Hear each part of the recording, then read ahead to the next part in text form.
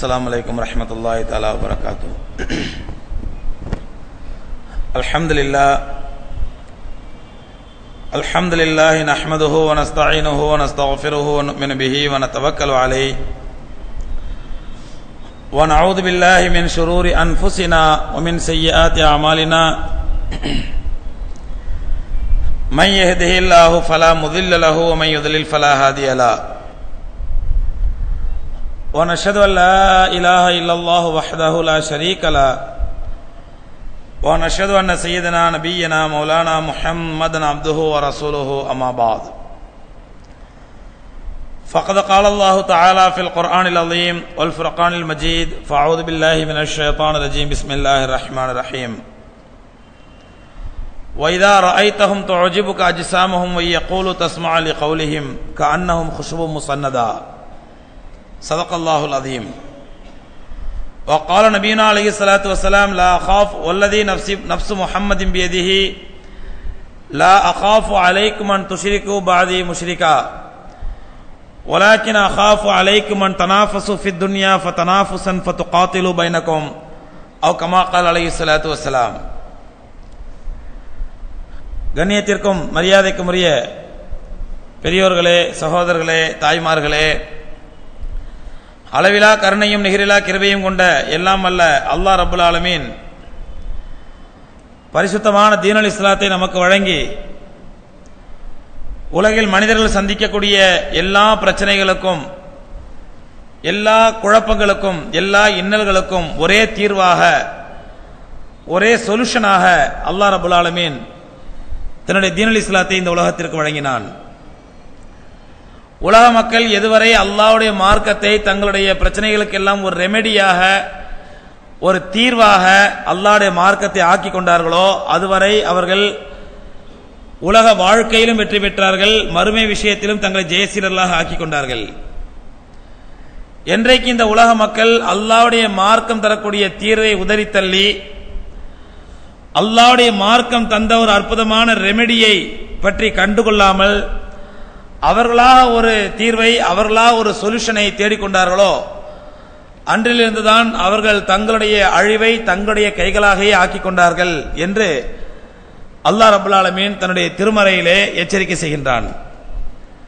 தாரல் ஃபசாது ஃபில் பர்ரி வல் பஹரி பிமா கசபத் ஐதின்னாஸ் கடலிலும் சரி நிலத்திலும் சரி குழப்பங்கள் தோன்றியது பிரச்சனைகள் உருவானது அல்லாவாலோ அல்லது அல்லாஹ் தந்த மார்க்கத்தாலோ அல்லது அல்லாஹ் தந்த அருள்மறை வேதத்தாலோ அல்லாவுடைய தூதர் சல்லாஹூ அலைவசலம் அவர்கள் வழிகாட்டிய வழிகாட்டுதல்களாலோ அல்ல. மாறாக பஹரல் ஃபசாது ஃபில் பர்ரி வல் பஹர். கடலிலும் சரி நிலத்திலும் சரி குழப்பங்கள் ஏற்பட்டது. பிமா கசபத் ஐதின் நாஸ். மக்கள் தங்களுடைய கரங்களாலேயே ஏற்படுத்தி கொண்ட தங்களுடைய கரங்களாலேயே சம்பாதித்துக் கொண்ட தீய விளைவுகளின் முடிவாகத்தான் இந்த குழப்பங்கள் ஏற்பட்டன என்று அல்லா ரபுல் ஆலமீன் தன்னுடைய திருமறலை சொல்லி காட்டுகின்றான். அந்த ரீதியில் சகோதரர்களே அல்லாஹ் சுபஹானா தலா இந்த உலக மக்களுக்கு குறிப்பாக முஸ்லிம் சமுதாயத்திற்கு அல்லா ரபுல்லாலின் சொல்லக்கூடிய ஒரு அற்புதமான கட்டளை ஒரு அற்புதமான அறிவுரை என்னவென்றால் கராஹியத் ஹப்பு துன்யா உலக வாழ்க்கையில் ஏற்பட வேண்டிய வெறுப்பு உலக வாழ்க்கை மீது ஏற்படக்கூடாத மோகம். இந்த உலக மோகம் என்பது ஒரு முஸ்லீமுக்கு அறவே ஏற்படக்கூடாத ஒன்று உலக மோகம் என்றாலே உலகத்தினுடைய லக்ஸுரி உலகத்தினுடைய இந்த சொகுசு வாழ்க்கையின் மீது மனிதனுக்கு வெறுப்பு ஏற்பட வேண்டும். இந்த சொகுசு வாழ்க்கையை அவன் விரும்பக்கூடாது. ஏனென்றால் உலகத்தை பொறுத்தவரையிலே ஒரு மூமினுக்கு ஒரு சிறைவாசியை போன்று அவனுடைய வாழ்க்கையை அமைத்து செல்ல வேண்டும். ஒரு சிறைவாசி எப்படி அவனுக்கென்று சில கட்டளைகள் இருக்கும் அவனுக்கென்று சில உத்தரவுகள் இருக்கும் அவனுக்கென்று சில ரூல்ஸ் அண்ட் ரெகுலேஷன்ஸ் இருக்குமோ அது போன்ற ஒரு மூமெண்ட் தன்னுடைய வாழ்க்கையை உலகத்திலே பொறுத்தவரையிலே ஒரு சிறைவாசியின் வாழ்க்கையை போன்று ஒரு சிறையில் வசிப்பவனுடைய வாழ்க்கையை போன்று அவர் அவனுக்கென்று வகுக்கப்பட்ட ரூல்ஸ் அண்ட் ரெகுலேஷன்ஸ் அல்லாவுடைய கட்டளை பெருமானாருடைய போதனை என்ற ரூல்ஸ் அண்ட் ரெகுலேஷன்ஸுக்குள் அமைத்து தன்னுடைய வாழ்க்கையை அமைத்துக் கொள்ள வேண்டும். ஏனென்றால் இந்த உலக வாழ்க்கையில் மனம் போன விருப்பப்படி வாழலாம் நாடியபடியெல்லாம் வாழலாம் தன்னுடைய விருப்பப்படியெல்லாம் வாழலாம் என்ற நிலை மூமினுக்கு கிடையாது. காபிர்களுக்குரியது என்பதனால் தான் எம்பெருமானா சல்லாஹூ அலைவசன் அவர் சொன்னார்கள் முஸ்னத் அகமதிலே பதிவு செய்யப்பட்டிருக்கிறது ஹதீஸ் அத்துன்யா சிஜுனுல் மூமின் ஜன்னத்துல் காஃபிர். இந்த உலக வாழ்க்கையை பொறுத்தவரையிலே மூமின்களுக்கு இது ஒரு சிறைச்சாலை வாழ்க்கை காஃபிர்களுக்கு தான் இது சொர்க்க வாழ்க்கை என்று பெருமானா சல்லல்லா அலிஸ்லம் சொன்னார்கள். காஃபிர்களுக்கு தான் இது சொர்க்க வாழ்க்கை. ஏனென்றால் அவர்களுக்கு எந்த கட்டுப்பாடும் கிடையாது கண்ணியமும் கிடையாது எந்த கடமையும் கிடையாது அல்லது எந்த விதமான கண்ட்ரோலும் கிடையாது ரூல்ஸ் அண்ட் ரெகுலேஷன் கிடையாது. அவர்கள் மனம் போனெல்லாம் வாழ்க்கலாம். எப்படி சொர்க்கத்திலே மூமின் வாழ்வாரோ அது போன்று இந்த உலகத்திலே வாழ்ந்து கொள்ளலாம். ஆனால் மூமினை பொறுத்தவரையிலே அவருக்கென்று சில கட்டுப்பாடுகள் இருக்கின்றன அவருக்கென்று சில வாழ்க்கை வழிமுறைகள் இருக்கின்றன அவருக்கென்று அல்லாஹ் வகுத்து தந்த சட்டத்திட்டங்கள் இருக்கின்றன.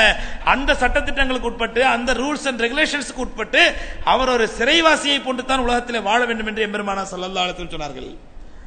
அப்படி சிறைவாசியை போன்ற ஒரு உலக வாழ்க்கையை தன்னுடைய வாழ்க்கை ஒரு மூமின் அமைத்துக் ஏனால் சிறைச்சாலையில் வாழ்க்கை வாழக்கூடிய வாழ்க்கையை போன்று அல்லாஹ் கட்டுப்பட்டு அல்லாட தூதர் ஸல்லல்லாஹு கட்டுப்பட்டு ஒரு மூவின் வாழ்க்கை அமைத்துக் கொள்வாரேயானால் இந்த சிறை வாழ்க்கைக்கு பகரமாக அல்லாஹ் ரபுல் ஆலமீன் மறுமையில் தரக்கூடிய வாழ்க்கை அது சொர்க்க வாழ்க்கையாக இருக்கும். அங்கு அவருடைய மனம் விரும்பியதெல்லாம் நடக்கும். எந்த பழத்தை பார்க்கிறாரோ இது என்ன பழம் எப்படி சுவையாக இருக்கும் என்று நினைப்பார் அந்த பழம் அவருக்கு முன்னால் அறுத்து பரிமாறப்படும். எந்த பெண்ணை விரும்புகிறாரோ அந்த பெண்ணை அவர் அனுபவிக்கலாம். அவருக்கு அங்கே மது ஹலாலாக்கப்பட்டிருக்கும். சொர்க்கத்தை உலகத்திலே ஹராமாக்கப்பட்டிருந்த மதுவும் கூட உலகத்திலே ஹராமாக்கப்பட்டிருந்த தங்கமும் கூட உலகத்திலே ஹராமாக்கப்பட்ட மனம் போன பெண்களிடத்தில் தன்னுடைய நாட்டத்தை விரும்புவது நிறைவேற்றிக் கொள்வது கூட அங்கே அவருக்கு சொர்க்கத்திலே அழகு கண்ணிகளால் நிரப்பப்பட்டு அங்கே அவர்கள் பரிசுத்தமான மதுகளால் ப- அவர்கள் பரிமாறப்பட்டு அவர்கள் விரும்பியவாறெல்லாம் வாழக்கூடிய வாழ்க்கை அங்கே அவருக்கு ஹலாலாக்கப்பட்டிருக்கும் என்று அல்லாஹ் ரபுல்லாலும் சொல்லி தருகின்றான். எதற்காக இந்த சொர்க்கத்தை அல்லா ரபுல்லான் வழங்குகின்றான்? உலகத்திலே இவர் சிறைச்சாலை வாழ்க்கை வாழ்வதனால். உலகத்திலே இவர் சிறைச்சாலை வாழ்க்கை வாழ வேண்டியிருப்பதால் இதற்கு பகரமா மறுமையிலே ரபுல்லால் சொர்க்கத்தை வழங்குகின்றான். ஆனால் அல்லாவை மறுக்கக்கூடியவர்கள் அல்லாவை நிராகரிக்கக்கூடியவர்கள் இந்த உலகமே சாசுவதம் என்று உலகத்திலே அவர்கள் சொர்க்க வாழ்க்கை வாழ்வதனால் மரணத்திற்கு பிறகு உள்ள வாழ்க்கையிலே அவர்கள் நிரந்தர நரகத்தை ரப்புல்லாலமின் விதிக்கின்றான். இதுதான் இஸ்லாத்தினுடைய சுருக்கமான கான்செப்ட் ஒரு மூமின் உலகத்தில் அல்லாஹ் கற்றுத்தந்த முறைப்படி அல்லாட தூதர் ஸல்லல்லாஹு சொல்லக்கூடிய தீர்வுகளை ஏற்று ரெமெடிகளை ஏற்று வாழும் பொழுது அந்த உலக வாழ்க்கை அவனுக்கு ஒரு கிட்டத்தட்ட ஒரு சிறை வாழ்க்கையை போன்றுதான் இருக்கும். அவன் நினைச்சதெல்லாம் செய்ய முடியாது. விரும்பியதெல்லாம் வா- சாப்பிட முடியாது. அவன் மனப்போன போக்கிலெல்லாம் வாழ முடியாது. அவன் நினைத்ததிலெல்லாம் நிறை- நிறைவேற்றிக் கொள்ள முடியாது. அவன் கிட்டத்தட்ட ஒரு சிறைவாசி வாழ்க்கையை போன்று வாழும் பொழுது இதற்கு பகரமா அல்லாஹ் மறுமையிலே அவனுக்கு சொர்க்கத்தை கொடுக்கின்றான். அதனால்தான் எம்பெருமானா சல்லாஹூ அலைவசலம் சொன்னார்கள் தன்னுடைய கடைசி கால உபதேசத்தில் சொன்னார்கள் கடைசி இறுதி நாட்களிலே பெருமானா சல்லல்லா அலிஸ்லத்துடைய அவர்கள் இந்த உலகத்தை விட்டு பிரிவதற்கு முன்பாக கடைசி மூன்று நாட்கள் மிக முக்கியமானவை. கடைசி மூன்று நாட்களில் மிக முக்கியமான உபதேசங்களை பெருமானா சல்லல்லா சொன்னார்கள் அந்த உபதேசத்திலே ஒன்றாக ரசூலுல்லாஹி ஸல்லல்லாஹு அலைஹி சொன்னார்கள் வல்லதி நஃப்சு முஹம்மதின் பியதிஹி. என்னுடைய உயிர் இந்த முகம்மதுடைய உயிர் யார் கைவசம் இருக்கிறதோ அந்த ரப்புல் ஆலமீன் மீது சத்தியமாக சொல்கின்றேன். இன்னி லா அகாஃபு அலைக்கும் அன் துஷ்ரிக்கு பாதி. எனக்கு பிறகு நீங்கள் இணை வைத்து முஷ்ரிக்காக மாறிவிடுவீர்களோ என்று நான் பயப்படவில்லை. இணை வைத்து முஸ்லீக்காக மாறிவிடுவீர்கள் காஃபிராக மாறிவிடுவீர்கள் இணை வைப்பாளர்களாக மாறிவிடுவீர்கள் என்று நான் ஒருபோதும் அஞ்சவில்லை. ஒலாக்கின் அகாஃபு அலைக்குமன் அன் தனாஃபுசு ஃபித் துன்யா தனாஃபுசன் துகாத்திலு பைனக்கும். ஆனால் அல்லாஹ்வின் சத்தியமாக உங்களுடைய விஷயத்தில் நான் எதற்கு பயப்படுகிறேன் என்றால் எனக்கு பிறகு இந்த உலக மோகத்திலே மூழ்கி. உலக ஆசையிலே மூழ்கி அன் தனாஃபுசு ஃபித் துன்யா தனாஃபுசன் இந்த உலகத்தினுடைய ஆசாபாசங்களிலும் உலகத்தினுடைய லக்ஸரி வாழ்க்கைக்காகவும் உலகத்தினுடைய அற்பமான இந்த சொகுசு வாழ்க்கைக்காகவும் ஆசைப்பட்டு வல் துகாத்திரு பைனக்கும். அதற்காக உங்களுக்கு மத்தியிலே ஒருவருக்கொரு வெட்டிக் கொள்வீர்களோ சண்டையிட்டுக் கொள்வீர்களோ என்று தான் நான் பயப்படுகிறேன் என்று பெருமானா சொல்லலாம் சொன்னார்கள். ரசூலுல்லாஹி ஸல்லல்லாஹு அலைஹி வஸல்லம் ரப்பல் ஆலமீன் அறிவித்திருந்தான் வருங்காலத்தில் மக்களுடைய நிலைமை எப்படி இருக்கும் என்பதை அல்லாஹ் ரப்பல் ஆலமீன் அறிவித்தான். அந்த அறிவிப்பின்படி பெருமானா ஸல்லல்லாஹு அலைஹி சொன்னார்கள் எனக்கு அல்லாஹ் தந்த அறிவின் அறிவிப்பின்படி அல்லாஹ் தந்த ஞானத்தின்படி நிச்சயமா நீங்கள் முஷ்ரிக்காக மாற மாட்டீர்கள். உலகத்தில் எல்லா முஸ்லிம்களும் முஷீக்களாக மாறி காபிர்களாக மாறி இஸ்லாமே இல்லாமல் போய்விட்டது என்ற நிலைமை நிச்சயமாக ஏற்படாது. நிச்சயமா நீங்கள் முஸ்லீம்களாகத்தான் இருப்பீர்கள். மும்மிங்களாகத்தான் இருப்பீர்கள். நீங்கள் இணை வைத்து விடுவீர்கள் என்று நான் ஒருபோதும் பயப்படவில்லை. ஏனென்றால் எனக்கு தெரியும் அல்லாவுடைய அறிவிப்பின்படி எனக்கு நன்றாக தெரியும் அல்லா ரப்பல் அறிவித்திருக்கிறார் நீங்கள் இணை வைப்பாளர்களாக முஷ்ரிக்காக மாற மாட்டீர்கள். ஆனால் நான் எதற்கு பயப்படுகிறேன் என்றால் உலக மோகம் உங்களுடைய உள்ளத்திலே குடிகொண்டு உலக ஆசாபாசம் உங்கள் உள்ளத்திலே மூழ்கி உலகத்திலே அற்பமான இந்த சொகுசு வாழ்க்கைக்காக இந்த லக்ஸரிக்காக இந்த உலகத்தில் வாழக்கூடிய இந்த அசிங்கமான வாழ்க்கைக்காக நீங்கள் முன்னுரிமை கொடுத்து ஆகலத்தை மறந்து அதன் காரணமாக உங்களுக்குள்ளே ஒருவருத்தருக்கும் துக்காத்திலும் பயணக்கும் ஒருவருக்குறை வெட்டி மாழ்வீர்களோ என்று தான் பயப்படுகிறேன் என்று பெருமானா சொல்லலாம்னு சொன்னார்கள்.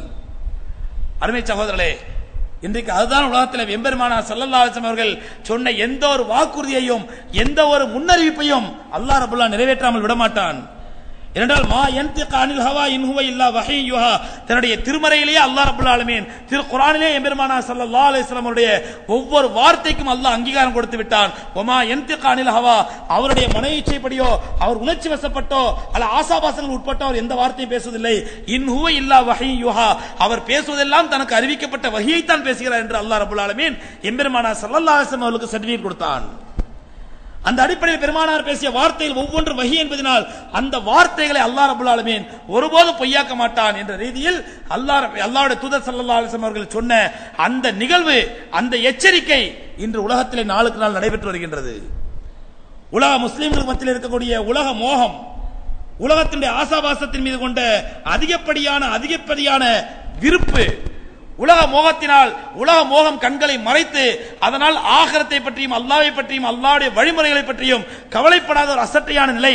இதனால் இன்றைய உலகத்திலே மிக பெரும் குழப்பங்களும் மிக பெரும் விளைவுகளும் ஏற்பட்டு வருவதை நாம் பார்க்கின்றோம். அருமை சகோதரர்களே சமீபத்திலே உலக வரலாறு உலக நிகழ்வுகளை நாம் பார்க்கும் பொழுது இப்பொழுதுதான் இரண்டு வாரங்களுக்கு முன்பாக எகிப்திலே ஒரு மிகப்பெரிய புரட்சி ஏற்பட்டு அந்த புரட்சியினால் ஆட்சியாளர் வீட்டுக்கு அனுப்பப்பட்டு மக்கள் வேறொரு அரசாங்கத்தை எதிர்பார்த்து காத்திருக்கின்றார்கள். அதற்கு முன்பாக துனிசியாவிலே அரபு முஸ்லீம் நாட்டிலே இவ் அடுத்து எகிப்திலே முஸ்லீம் நாட்டிலே அடுத்தடுத்து ஏற்பட்ட பிரச்சனைகளே யமனிலும் பஹ்ரைனிலும் லிபியாவிலும் ஏற்பட்டு யமனிலும் பஹ்ரைனிலும் ஓரளவு பிரச்சனை கட்டுப்படுத்தப்பட்ட நிலையில் லிபியாவில் கொழுந்துவிட்டு எரிந்த நிலையில் எல்லா பிரச்சனைகளுக்கும் எல்லா குழப்பங்களுக்கும் காரணம் முஸ்லிம் மக்களுடைய உலக மோகமும் அந்த முஸ்லிம் மக்களை ஆட்டி படைக்கும் யூத நசாராக்களுடைய வெறிகொண்ட சக்தியும் தான் காரணம். யூத நசாராக்களுடைய வெறிகொண்ட சக்தி அந்த ஆதிக்க வெறி அந்த ஆதிக்க வெறியும் அந்த ஆதிக்க வெறிக்கு பலியாகக்கூடிய அங்கு இருக்கக்கூடிய முஸ்லிம்களுடைய அதிகார அதிகார பாசமும் அல்லது உலக மோகமும் தான் அடிப்படை காரணமாக இருக்கின்றது. எகிப்தில் என்ன நடந்தது? எகிப்திலே பொறுத்தவரையில் மிகப்பெரிய ஒரு இஸ்லாமிய நாடு. மிடில் ஈஸ்ட் என்று சொல்லக்கூடிய மத்திய கிழக்கிலே ஒரு மிகப்பெரிய முஸ்லீம்கள் நாடு புராதனமான வரலாறு நிறைந்த இஸ்லாத்திற்கு சொந்தமான வரலாறு நிறைந்த நாடு. அதற்கு மூசா அலை சலாத்து வஸ்லாமுடைய வரலாறையும் அதற்கு இப்ராஹிம் அலை சலாத்து வஸ்லாமுடைய வரலாறையிலையும் தன்னகத்தே கொண்ட ஒரு நாடு மிஸ்ர். மிஸ்ர் என்று சொல்லக்கூடிய எஜிப்து ஆனா அந்த எஜிப்தில் என்ன நடந்தது? கமால் அப்து நாசர் ஆரம்பித்து பிறகு அன்வர் சாதாத் வரை தொடர்ந்து அதற்கு அப்புறம் ஹுஸ்னி முபாரக் வரை தொடர்ந்து நடந்தது. முழுக்க முழுக்க அவர்களுடைய உலக மோகம். அவருடைய உலக வெறி அவருடைய ஆதிக்க வெறி பதவி மீது கொண்ட மோகம் அந்த மோகத்தின் காரணமாக மக்களை ஆட்டி படைத்து சுரண்டி கொழுத்து அமெரிக்கர்களுக்கும் இஸ்ரேலுக்கும் அடிமைப்பட்ட யூத நசாரர்களுக்கு அடிமைப்பட்ட ஒரு மாபெரும் அடிமைகளாக திகழ்ந்தார் அந்த ஆட்சியாளர்கள். அதன் விளைவாக அவருடைய ஆட்சி தூக்கி எரியப்பட்டிருக்கிறது ஆனால் எரியப்பட்டதற்கு என்ன காரணம்? அமெரிக்காவினுடைய ஒரு அடிமை உஸ்னி முபாரக் என்ற அடிமை அமெரிக்காவுக்கு சலித்து விட்டது வெறுத்து விட்டது. எத்தனை நாட்களுக்கு இந்த அடிமையை வைத்தே வேலை வாங்குவது? இன்னொரு புது அடிமையை உருவாக்கலாம் என்று அமெரிக்கா நினைத்தது. அதனால் உஸ்னி முபாரக்கை தூக்கிவிட்டு அடுத்த அடிமையை தேர்ந்தெடுப்பதற்கு அமெரிக்கா தயாராகி கொண்டிருக்கிறது. அங்கே இருக்கக்கூடிய பொதுமக்களும் அமெரிக்காவினுடைய சூழ்ச்சி தெரிந்தோ தெரியாமலோ அமெரிக்காவினுடைய சூழ்ச்சிக்கு ஆளாகி கொண்டிருக்கின்றார்கள். அதற்கு அப்புறம் பஹ்ரைனிலே அதற்கு பிறகு யமனிலே இடையிலே சிரியாவிலே தற்போது ஜோர்டானிலே அதற்கு பிறகு இப்பொழுது லிபியாவிலே முழுக்க முழுக்க அந்த மிடில் ஈஸ்ட் பகுதிகளிலே மத்திய கிழக்கு மத்திய கிழக்கு பகுதிகளிலே இருக்கக்கூடிய எல்லா முஸ்லிம் நாடுகளிலும் ஒரு குழப்பமான நிலை. இந்த குழப்பத்திற்கு முழு காரணம் அமெரிக்காவினுடைய கை அமெரிக்கா பின்னிருந்து இயக்கக்கூடிய முனாஃபித்தனமான காரியம். ஏனென்றால் இப்போதைய அமெரிக்க அதிபர் ஒபாமா பதவியேற்றவுடன் முஸ்லிம் மக்களோடு ஒரு நெருக்கத்தை ஏற்படுத்த நினைத்தார். முஸ்லிம் மக்களுக்கு தான் எதிரி அல்ல உலக முஸ்லிம்களுக்கு தான் ஒரு விரோதி அல்ல என்று காட்டிக்கொள்ள நினைத்தார். வெளிப்படையாக காட்டிக்கொள்ளலாம் முனாஃபிக்தனமாக காட்டிக்கொள்ள நினைத்தார். அப்படி காட்டிக்கொள்வதற்கு அவர் கருவியாக பயன்படுத்திய முதல் தளம் கெய்ரோவினுடைய யூனிவர்சிட்டி தான். எகிப்தினுடைய கெய்ரோவினுடைய யூனிவர்சிட்டி தான் தேர்ந்தெடுத்தார். அங்கே இருக்கக்கூடிய முஸ்லீம் யூனிவர்சிட்டிக்கு சென்று அங்கே மக்களுக்கு மத்தியிலே உரையாற்றி எடுத்தவுடன் ஆரம்பத்தில் அஸ்ஸலாமு அழைக்கும் என்று சொன்னாராம் ஒபாமா. உடனே முஸ்லீம் உலகம் எல்லாம் அப்படி புலங்காகிதம் அடைந்தது. ஒபாமா நம்மளை பார்த்து அஸ்லாம் அழைக்கும் என்று சொல்லிவிட்டார். சொன்னது மட்டுமல்ல அங்கே ஓபன் டிக்ளேர் செய்தார். அதாவது middle east கண்ட்ரிகளிலேயே the best democracy country middle east area என்று சொன்னார். மத்திய கிழக்கு பகுதியில் இருக்கக்கூடிய மிகச்சிறந்த ஜனநாயக நாடு இந்த எகிப்து நாடு தான் என்று சொன்னார். ஆனால் அந்த எகிப்து நாட்டு ஆட்சியாளர் ரெண்டு ஆண்டுகளிலே கசந்து அவர் தூக்கி வீசப்படுவதற்கு அமெரிக்க அதிபரே காரணமாக இருந்தார். முழு முயற்சியாம் ஈடுபட்டார். அமெரிக்க எகிப்தில எகிப்தில புரட்சி நடக்கக்கூடிய நேரத்திலே எகிப்தினுடைய ராணுவ தளபதி அமெரிக்காவில் காத்திருக்கின்றார். அமெரிக்காவினுடைய வெளியுறவுத்துறை செயலாளரை சந்திப்பதற்காக. அமெரிக்காவின் உத்தரவை வாங்கி பெறுவதற்காக அமெரிக்காவின் உத்தரவை வாங்கி வந்து எகிப்தில் நிறைவேற்றினார். அதன்படி ஹுஸ்னி முபாரக் தூக்கி எறியப்பட்டு அடுத்த ஒரு அடுத்த ஒரு பொம்மைக்காக அடுத்த ஒரு அடிமையை தயார்படுத்திக் கொண்டிருக்கிறார்கள் அமெரிக்கர்கள். இதே நிலைதான் யமனிலும் இதே நிலைதான் சவுதி அரேபியாவிலும். சவுதி அரேபியாவில் நடந்து கொண்டிருக்கிறது? அங்கும் அப்படித்தான் மக்கள் புரட்சி என்று ஆரம்பித்தவுடன் அந்த அரசாங்கம் முதலில் கையில் எடுத்த ஆயுதம் என்னவென்றால் அந்த மக்களை அடக்குவதற்கு மக்களை ஒடுக்குவதற்கு அரசாங்கம் முதலில் கையில் எடுத்த ஆயுதம் என்னவென்றால் அவர்களுக்கு சொகுசு வாழ்க்கை லக்ஸுரி வாழ்க்கை. உனக்கு உலகத்தில் எத்தனை எத்தனாயிரம் ரியால் வேணும்? நீ வாழ்வதற்கு எத்தனாயிரம் ரியால் வேணும்? எத்தனை கார் வேணும்? எத்தனை பங்களா வேணும்? உனக்கு எத்தனை வசதி வாய்ப்புகள் வேணும்? எத்தனை மனைவிகள் வேண்டும்? எல்லாவற்றையும் உனக்கு ஏற்பாடு செய்து தருகிறோம். அத்தனை உனக்கு பொருளாதார வசதி செய்து தருகிறோம். ஆனால் நீ ஆட்சி மாற்றத்தை பற்றி மட்டும் யோசிக்க கூடாது என்று அரசாங்கம் அந்த சவுதி அரேபிய மக்களுக்கு எல்லா விதமான வசதி வாய்ப்புகளையும் ஏற்படுத்தி கொடுத்து ஆட்சி மாற்றத்திற்கோ அல்லது அதிபர் மாற்றத்திற்கோ எந்த விதமான ஒரு காரணம் காரண காரியமும் நடந்துவிடக் கூடாது என்று மூடி மறைத்து விட்டார்கள். காரணம் என்ன? சவுதி அரேபியனுடைய இப்போதைய மன்னர் முழு முழுக்க முழுக்க அமெரிக்காவினுடைய ஆதரவோடு சப்போர்ட்டோடு என்றைக்கு இப்போது இருக்கக்கூடிய மன்னர் அமெரிக்காவுக்கு வெறுப்பை ஏற்படுத்துவாரோ அல்லது அமெரிக்கா என்றைக்கு வெறுத்து விடுமோ இப்பொழுது மன்னரை அடுத்த மன்னரை அடுத்த அடிமையை தேர்ந்தெடுப்பதற்கு அமெரிக்கா தயாராகிவிடும். அதேதான் லிபியாவில் நடக்கின்றது. லிபியாவிலே கதாஃபியை பொறுத்த வரையில் அவன் மிகப்பெரிய ஒரு அயோக்கியன் என்பது உலகறிந்த விஷயம். ஒரு சமீப காலத்தில் ஒரு கட்டத்தில் ஒரு இருபது இருபத்தஞ்சு வருஷத்துக்கு முன்பாக கதாஃபியை உலகளாவிய முஸ்லிம் ஹீரோவாக இந்த முஸ்லிம் உலகம் கருதியது. ஏனென்றால் உலகம் எப்படி என்றால் சகோதரர்களே மீடியாக்கள் கையில் தான் உலகம் இருக்கின்றது. மீடியாக்கள் யாரை ஹீரோ என்று காட்டுவார்களோ அவர்களை உலகமே ஹீரோ என்று போற்றும். அப்படித்தான் அன்வர் சாதாத் என்ற அயோக்கியன் உண்ணானவர் இஸ்லாமிய விரோதி அவனை அரபு மீடியாக்களும் சரி அமெரிக்க மீடியாக்களும் சரி ஒரு மிகச்சிறந்த ஹீரோவாக சித்தரித்தன உடனே நம்மவர்கள் எல்லாம் தங்களுடைய பிள்ளைக்கு அன்வர் சாதாத் என்று பெயர் வைத்தார்கள்.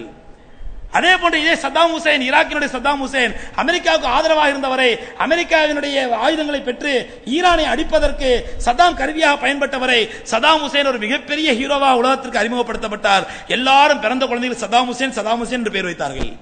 இப்பொழுதும் பார்க்கலாம். பதினெட்டு வயசு இருபது வயசு வாலிபர்கள் நிறைய பேருக்கு சதாம் ஹுசேன் என்று பேரு. அவனுக்கும் தெரியாது சதாம் என்றால் என்ன அர்த்தம் என்று. அவனுக்கு பேர் வச்ச தகப்பனுக்கும் தெரியாது சதாம் என்றால் என்ன பேர் என்று. பா- பாங்கு சொல்லி ஊதிய அஜரத்துக்கும் தெரியாது சதாம் என்றால் என்ன அர்த்தம் என்று.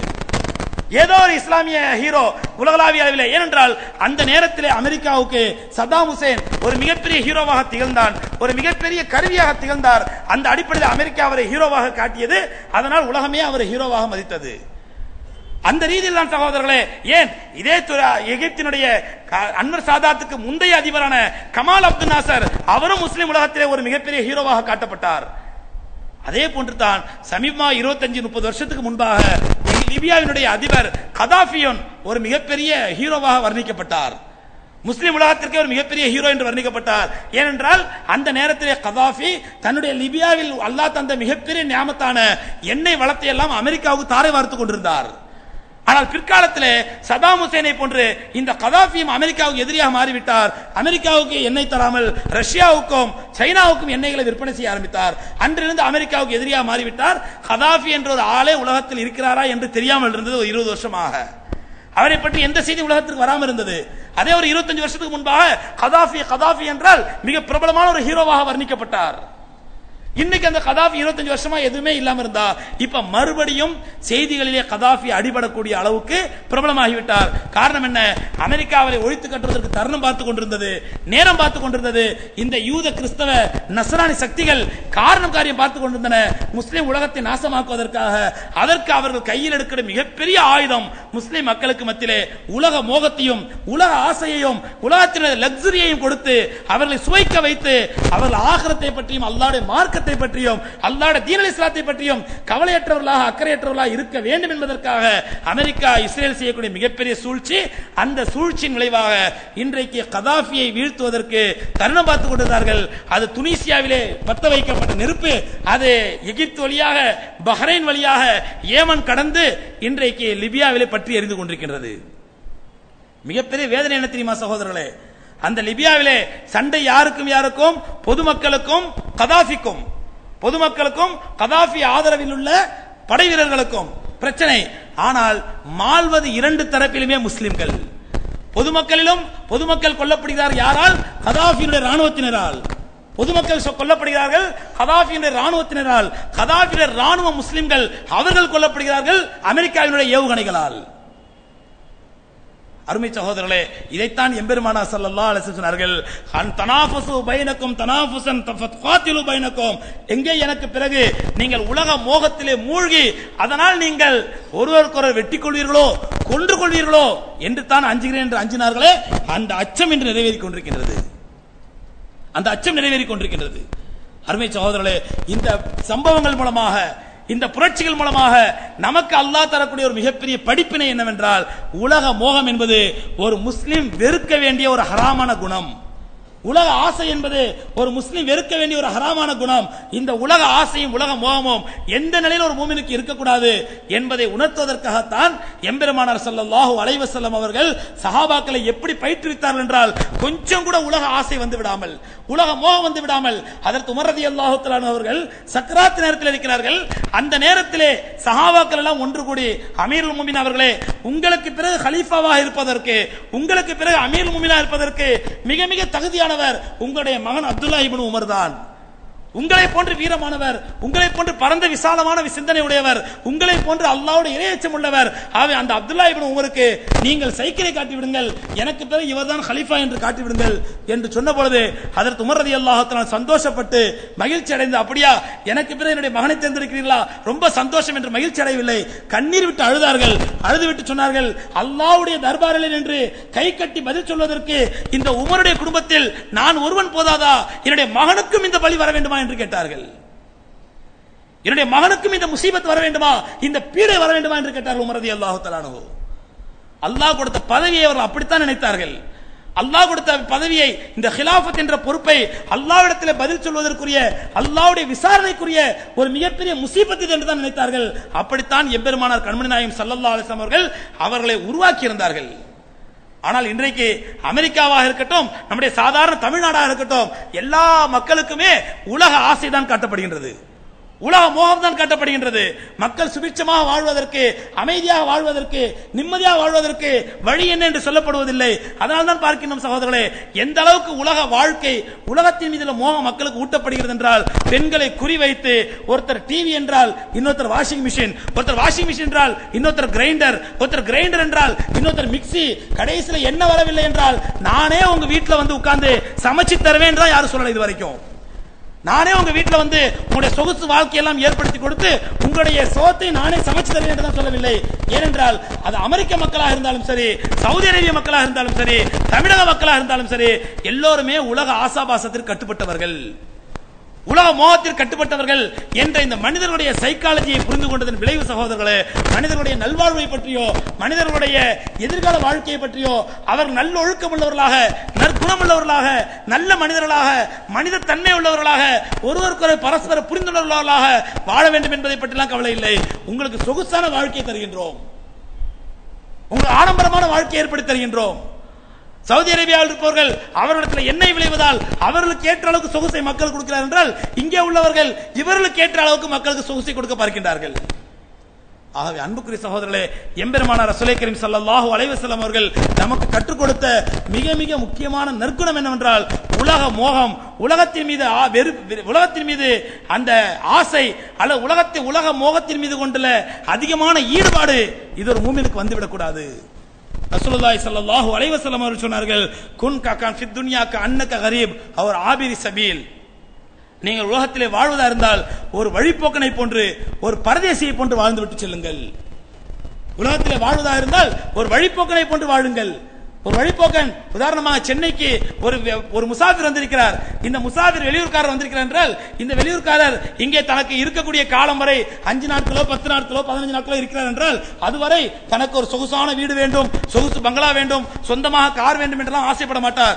எங்கனையோ தங்கறதுக்கு ஒரு ஒதுக்கிறதுக்கு இடம் கிடைச்சா போதும். என்ன இருக்கு? ரெண்டு மூணு நாளைக்கு இருக்க போறோம் அங்கே அட்ஜஸ்ட் பண்ணிட்டு ஒதுங்கிக்கிட்டு நம்ம வேலையை முடிச்சிட்டு போகலாம் என்று தான் பார்ப்பார். எம்பெருமானா ஸல்லல்லாஹு அலைவசலம் சொன்னார்கள் ஒரு மூவினை பொறுத்தவரையில் உலகத்திலே அவன் ஒரு ஆபிரி சபீல் அதாவது வழிபோக்கனை போன்று ஒரு பரதேசியை போன்று வாழ்ந்துட்டு செல்ல வேண்டும்.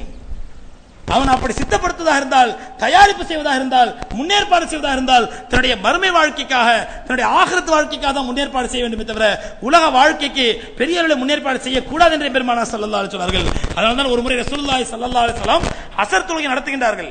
அசர் தொழுகை முடிந்தவுடன் தொழுகையில முசல்லால உட்கார்ந்திருக்கிறார்கள். தொழுது முடித்தாலும் பெருமானா சல்லல்லா இயல்பு என்னவென்றால் மக்களை நோக்கி உட்கார்ந்து சிறிது நேரம் தஸ்மி செய்வார்கள் திக்ரு செய்வார்கள். ஆனால் அன்றைய தினம் சலாம் கொடுத்து முடித்தவுடன் பெருமானா சல்லல்லா வேகமாக எந்திரிச்சு தங்களுடைய வீட்டுக்குள் ஓடினார்கள். சஹாபாக்களுக்கெல்லாம் ஆச்சரியம். என்னாச்சு ரசுல்லா ஒரு நாள் தொழுதவன் இப்படி ஓட மாட்டாங்களே?